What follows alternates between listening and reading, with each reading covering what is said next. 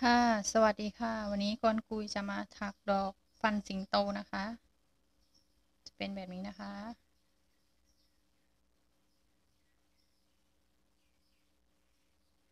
เดี๋ยวเรามาเริ่มถักกันเลยค่ะ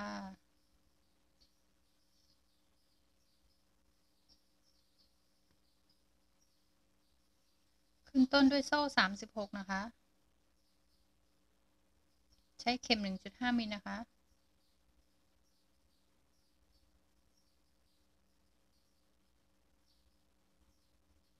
หนึ่งสองสามสี่ห้าหกเจ็ดแปดเก้าสิบสิบเอ็ด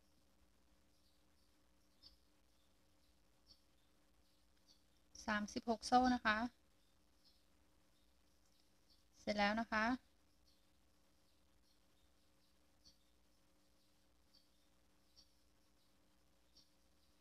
ถัก x นะคะ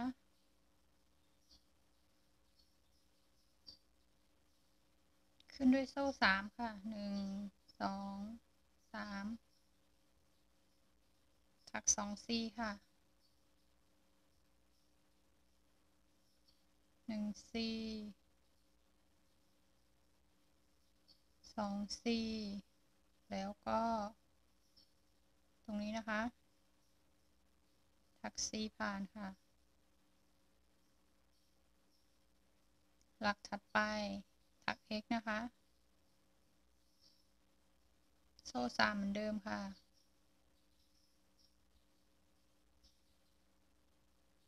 ถักสอง C เหมือนเดิมค่ะ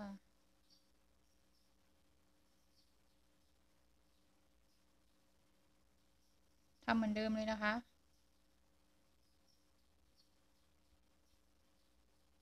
ซีผ่านค่ะ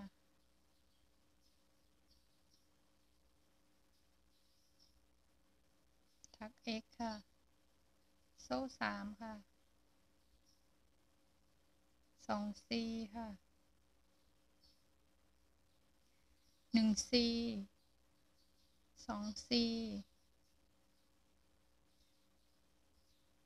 แล้วก็ทักซีผ่าน ช่องถัดไปถัก x ค่ะ โซ่สาม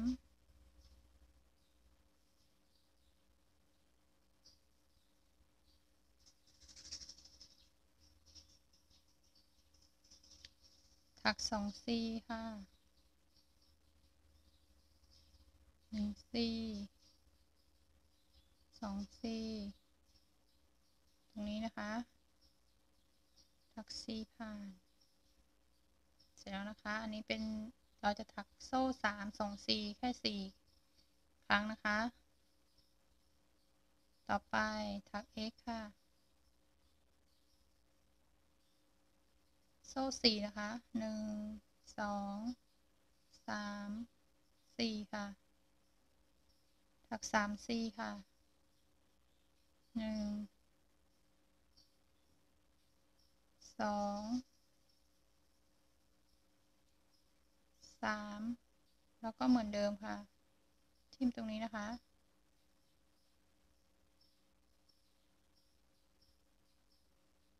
เราจะทำ x โซ่สี่ไปทั้งหมดเจ็ดครั้งนะคะ ได้หนึ่งครั้งแล้วนะคะหนึ่งสองสามสี่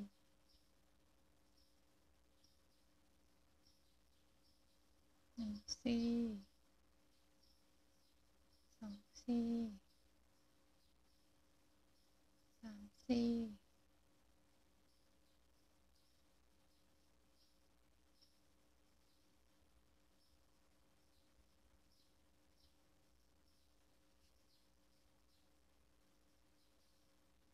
หนึ่ง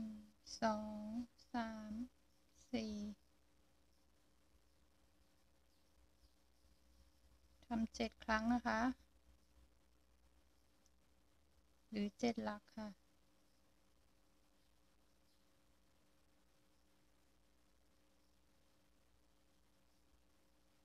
ตอนนี้เราได้สามแล้วนะคะ หลักที่สี่หนึ่งสอง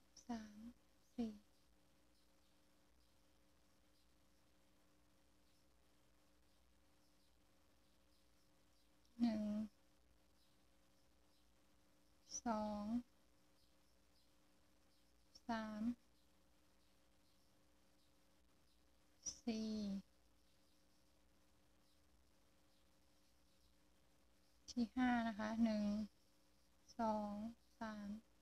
สี่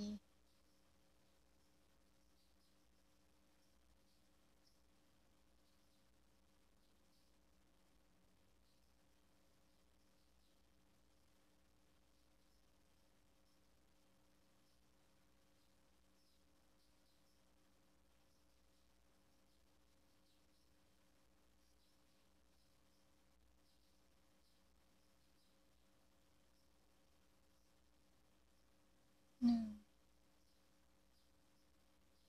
สองสาม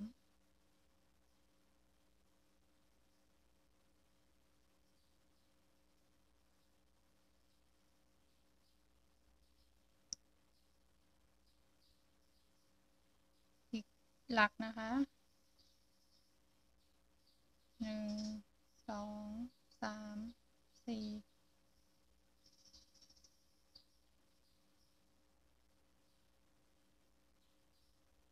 หนึ่งสี่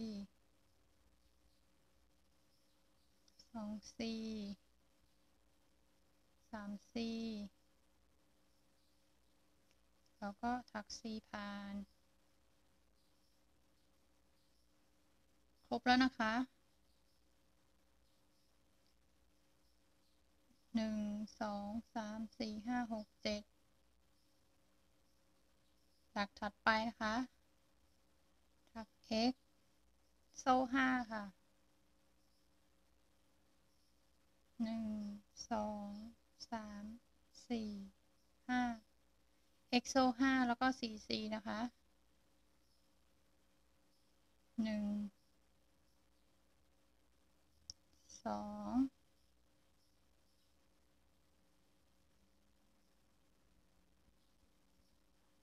สามสี่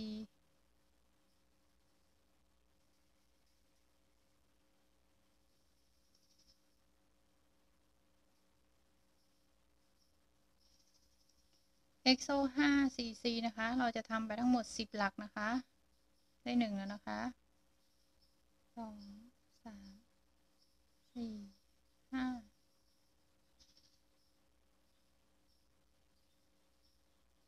หนึ่งสองสี่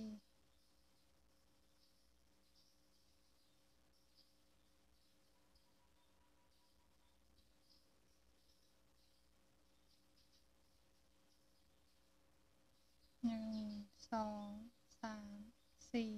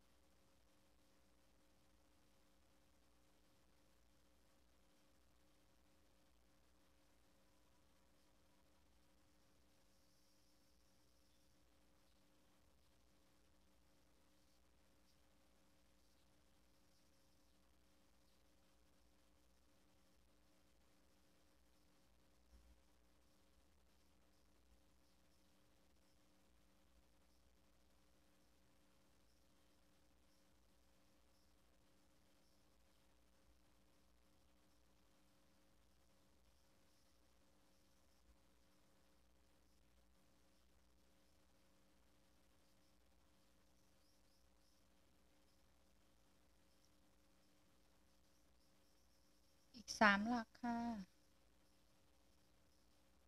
หลักที่แปดนะคะ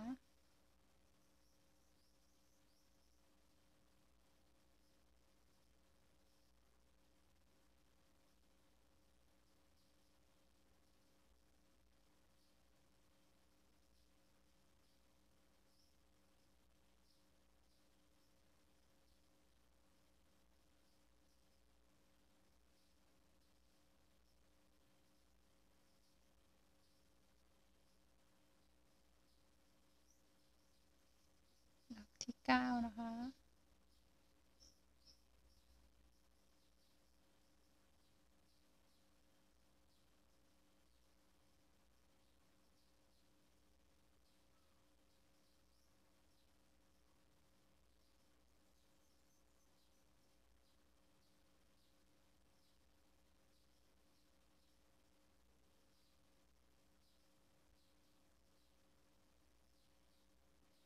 กสุดท้ายค่ะ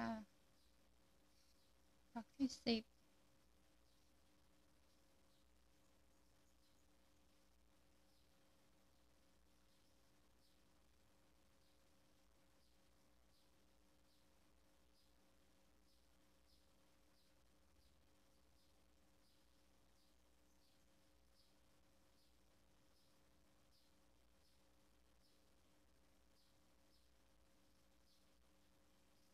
บนะคะ เดี๋ยวเรามานับกันอีกทีหนึ่งถ้าเพื่อนๆกลัวงงก็ใช้ไหมขั้นไว้นะคะหนึ่งสองสามสี่ห้าหกเจ็ดแปดเก้าสิบครบแล้วค่ะ หลักถัดไปนะคะถัก x แล้วก็โซ่หกค่ะหนึ่งสองสามสี่ห้าหก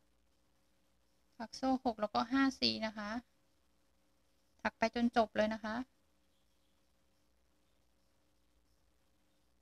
หนึ่งสองสามสี่ห้า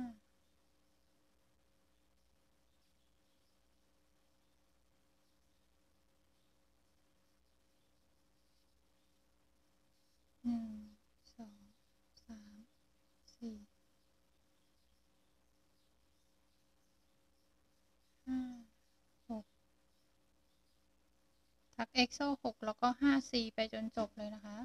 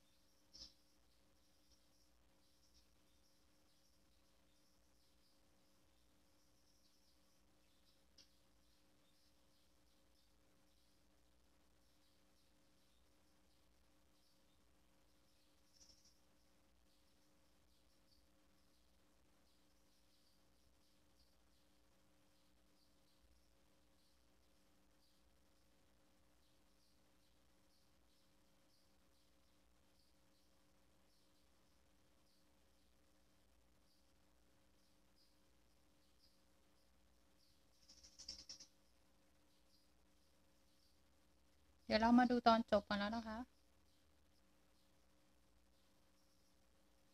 สุดท้ายแล้วนะคะ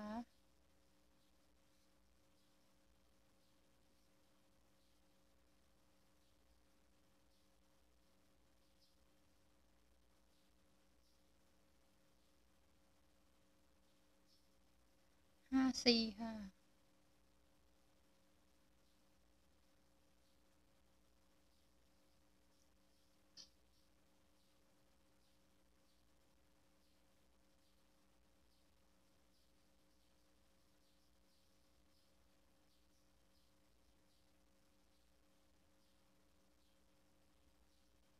ร็จแล้วปิดงานนะคะทิ้งลงไปที่ช่องเดิมนะคะ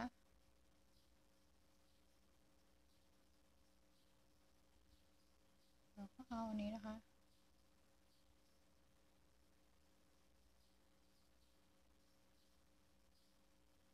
ตัดใหม่ค่ะ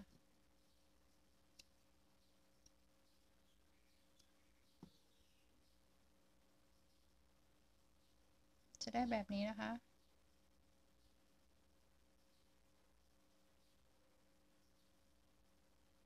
เสร็จแล้วนะคะ ง่าย ๆ ค่ะ เดี๋ยวเรามาถักกลีบเลี้ยงกันต่อเลยนะคะกลีบเลี้ยงนะคะ ขึ้นแบบวงกลมนะคะ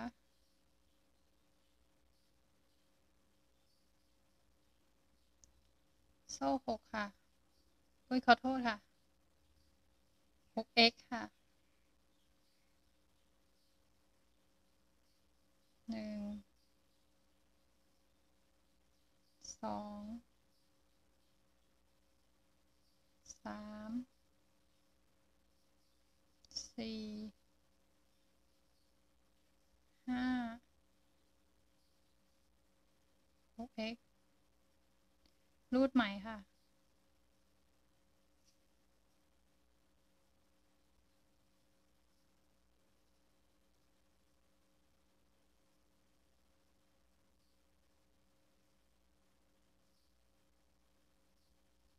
C ผ่านใน x แรกนะคะ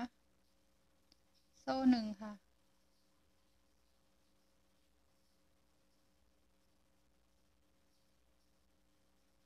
x ลงในช่องเดิมนะคะ x ถัก 2x นะคะ 2x แล้วก็ v ค่ะ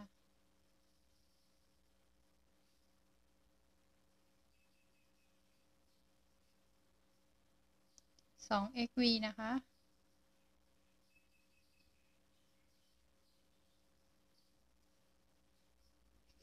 1x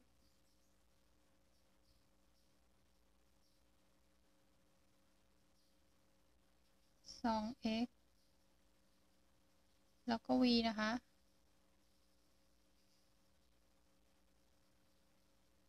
x สองหลักในช่องเดิมนะคะ แล้วก็ถัก c ผ่านใน x แรกค่ะ แบบนี้นะคะ แล้วก็ขึ้นโซ่หนึ่ง ตัดไหมตรงนี้ทิ้งนะคะ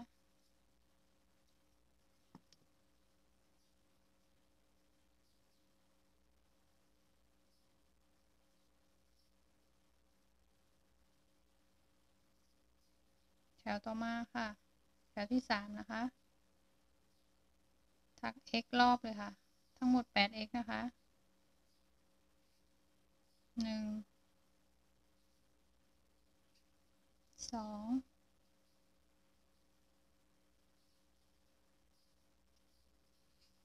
3 4 5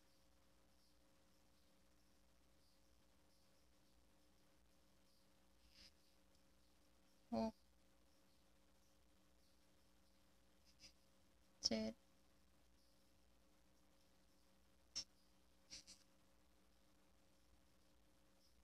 เจ็ดแล้วนะคะแปดสี่ผ่านกับ x แรกค่ะ แล้วก็โซ่หนึ่งนะคะ แบบนี้นะคะ แถวต่อไปนะคะ ถักสาม xv สองครั้งค่ะหนึ่งสอง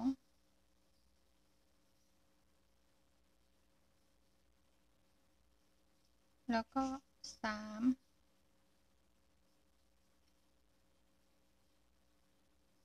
แล้วก็ v นะคะ อีกครั้งหนึ่งค่ะ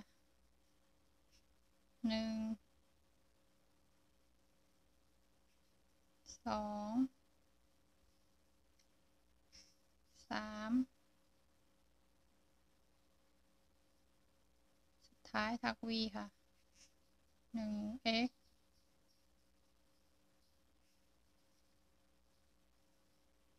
ส 2x นะคะ ในหลักเดิม แล้วก็ c กับ x แรกค่ะ จะได้ทั้งหมด 10x นะคะ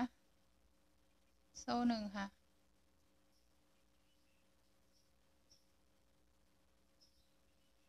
ได้หนึ่งสองสามสี่นะคะ แถวที่ห้านะคะ ทัก x ลงในช่องเดิมค่ะ โซ่สามค่ะหนึ่งสองสามถักสองถักสี่ถัก c นะคะ แล้วก็ถัก x แล้วก็ถัก c ผ่านค่ะ แบบนี้นะคะถักถัดไปทำเหมือนกันค่ะถัก x ค่ะ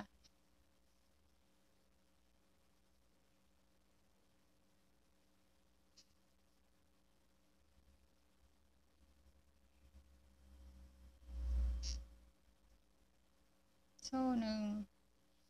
สองสามถัก c ผ่าน โซ่สองถัก x ค่ะ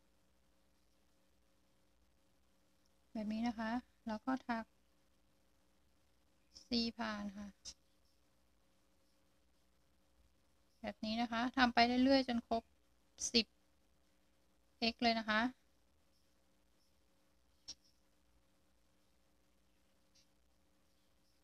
x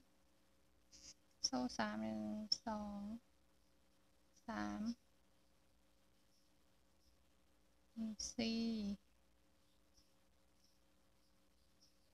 หนึ่ง x แล้วก็ถัก c ผ่านนะคะ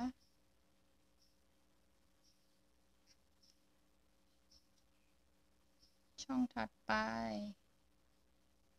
ถัก x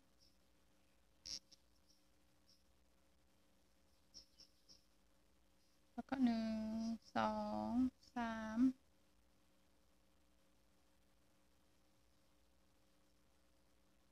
ถัก c ผ่าน x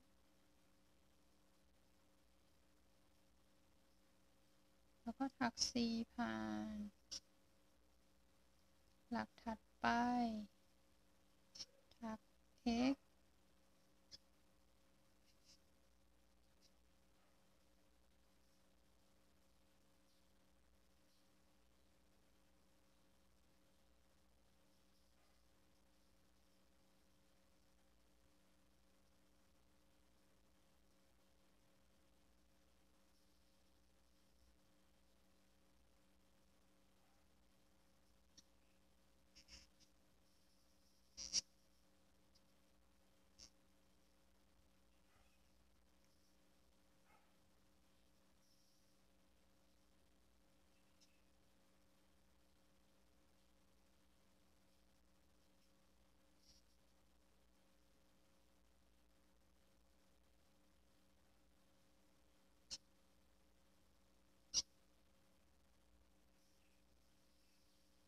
เพื่อนได้ยินเสียงไหมไหมคะ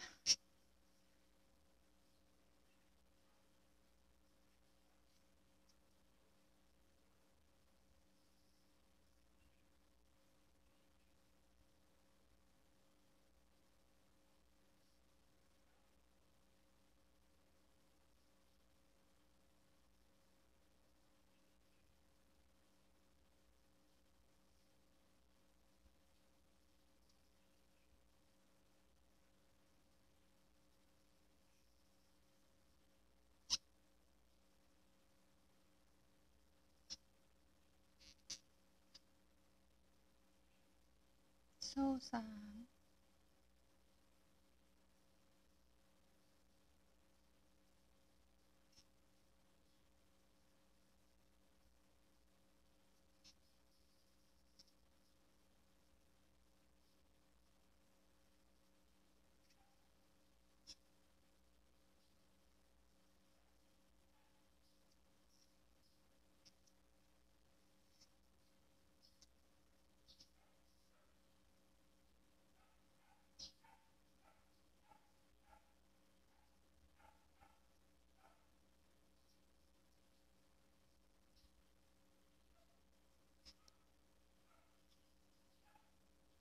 สุดท้ายนะคะ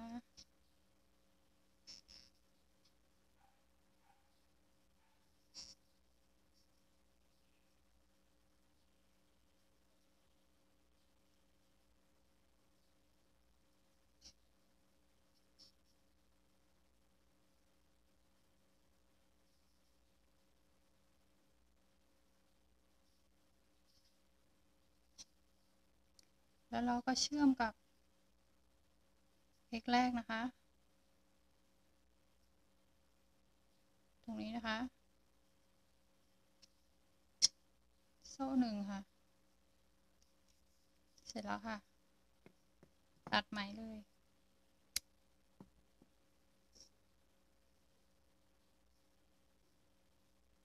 เก็บไหมอย่างนี้นะคะ ดึงอย่างนี้นะคะเนี่ยค่ะ เราก็จะได้ลักษณะนี้นะคะกลีบเลี้ยงนะคะ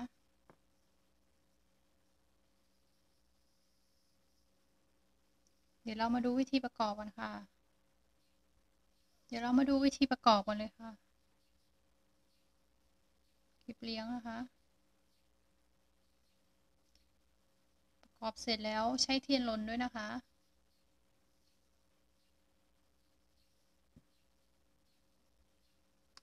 ช้ลวดนะคะ ใช้สองเส้นนะคะ พับครึ่งค่ะ ใช้ลวดพับครึ่งนะคะ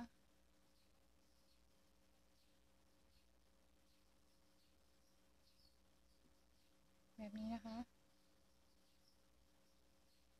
เราจะใช้ด้านด้านนี้หมุนนะคะ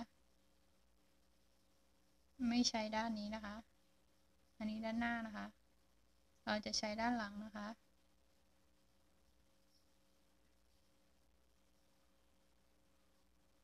นี้จะเป็นปลายใช้กาวยิงตรงนี้นะคะ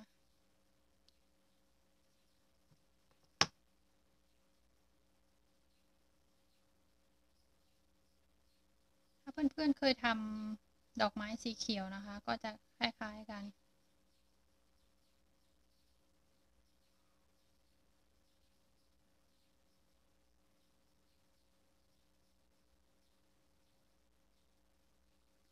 พยายามหมุนให้อยู่ในระดับเดียวกันนะคะ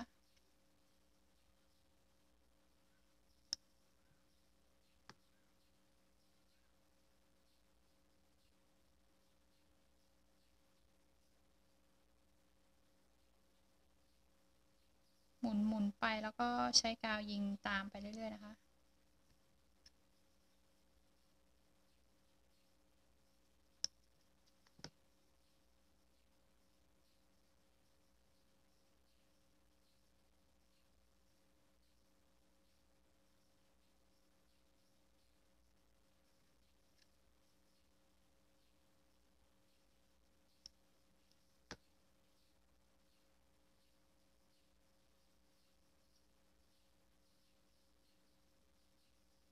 แพทนี้ก็จะคล้ายกับ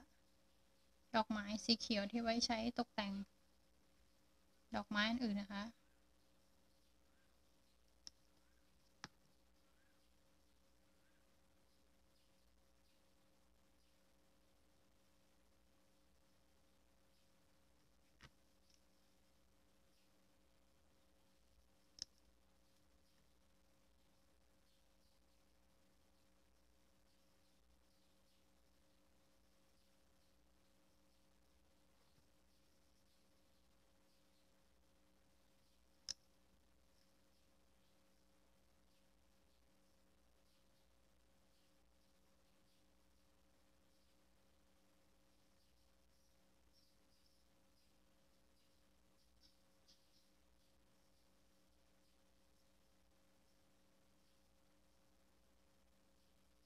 จะได้แบบนี้นะคะ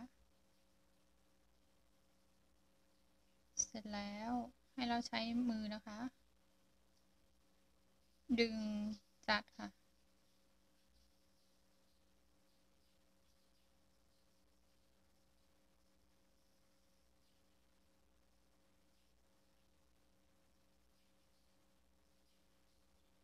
ดึงย้อนกลับมานะคะ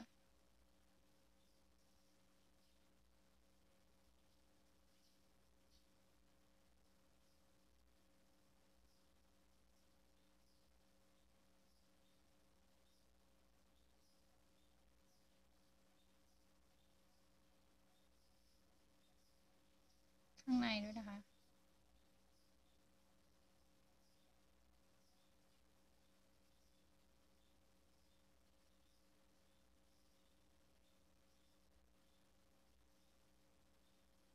จะได้แบบนี้ค่ะ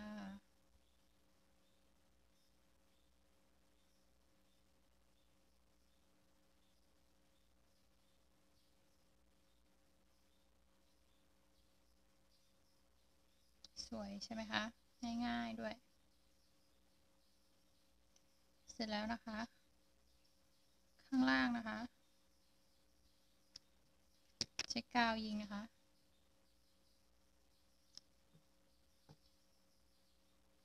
เก็บตรงนี้นะคะ แล้วใช้ลวดอีกเส้นนะคะ เพื่อให้ก้านมันใหญ่ขึ้นนะคะ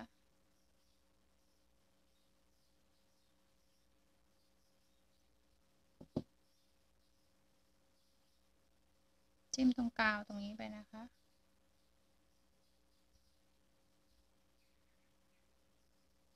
ให้ได้สี่เส้นนะคะ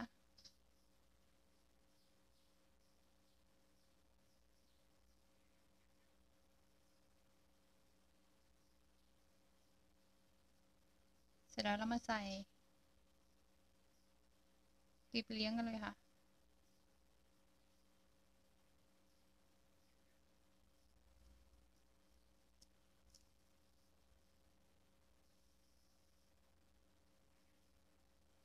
ใช้กาว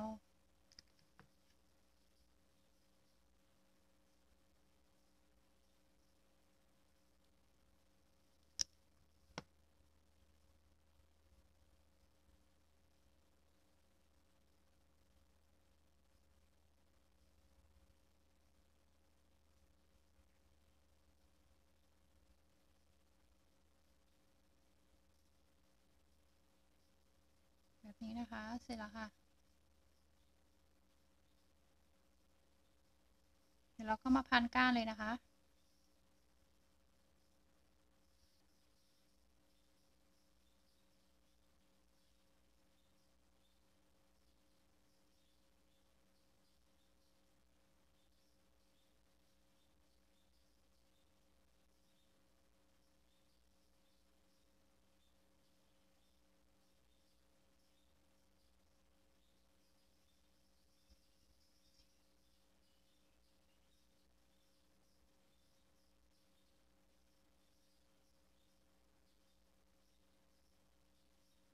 ลวดให้ให้ใช้พับครึ่งเส้นเดียวแล้วก็ ไปทาบกับตรงตัวดอกนะคะ ถ้าเราใช้สี่เส้นอย่างนี้เลยมันจะไม่สวย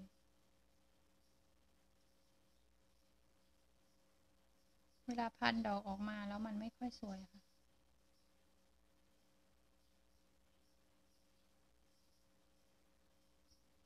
ให้ใช้เส้นเดียวพับครึ่งไปก่อนแล้วก็ เอาอีกเส้นหนึ่งค่อยมาต่อที่หลังนะ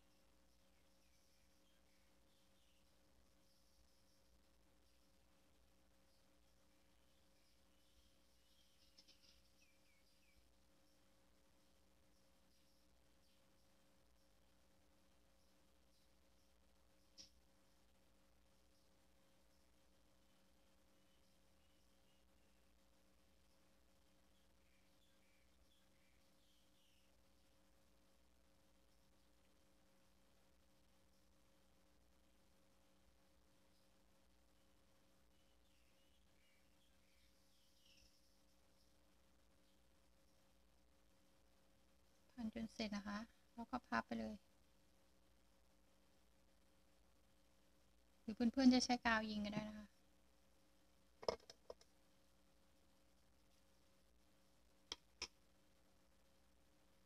เสร็จแล้วค่ะ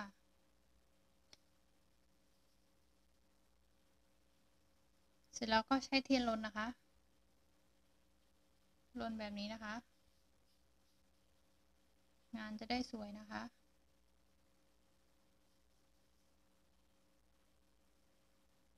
ได้แล้วนะคะ ดอกฟันสิงโตค่ะ ง่ายๆแล้วก็สวยด้วยนะคะ ส่วนใบนะคะ ก็ใช้เสียบลงไปในกระถางเลยนะคะ เพื่อนๆจัดแล้วก็ เสียบลงไปอย่างนี้เลยนะคะ จิ้มลงไปอย่างนี้เลยค่ะเดี๋ยวคนกุยจะจิ้มให้ดูนะคะ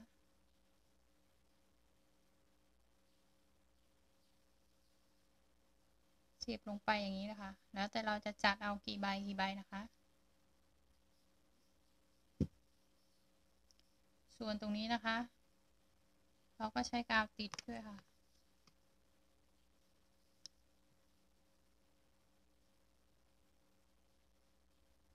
อย่างนี้นะคะ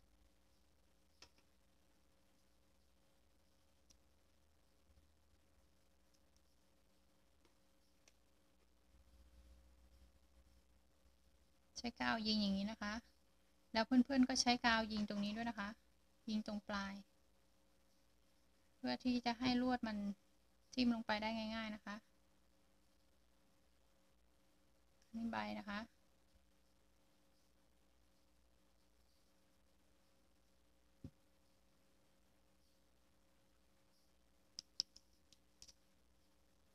อันนี้คือที่ลนเทียนแล้วนะคะ